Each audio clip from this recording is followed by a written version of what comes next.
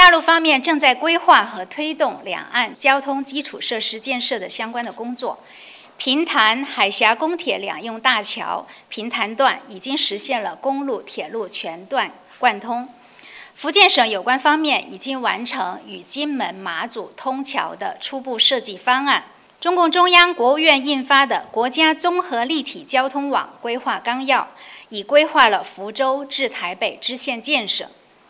两岸之间早日建成更加便捷更加通畅的交通网络将为两岸同胞提供更好的交通运输资源和服务造福两岸同胞。